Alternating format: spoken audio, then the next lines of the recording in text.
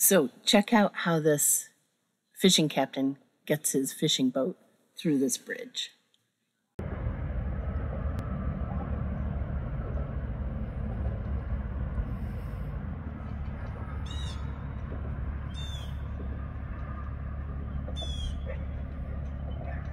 How the heck is he gonna?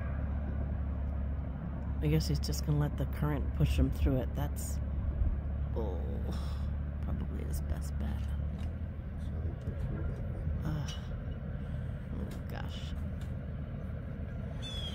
He just crabbed his way through. Well, so while I was having coffee this morning, I heard this crunching sound. So I jumped up and looked out the window, and there's this fishing boat trying to get under the bridge, and he was backing up at the time I saw him and grabbed the camera to video it. So, anyway, this bridge isn't tall enough for them to go through with their outriggers all the way up.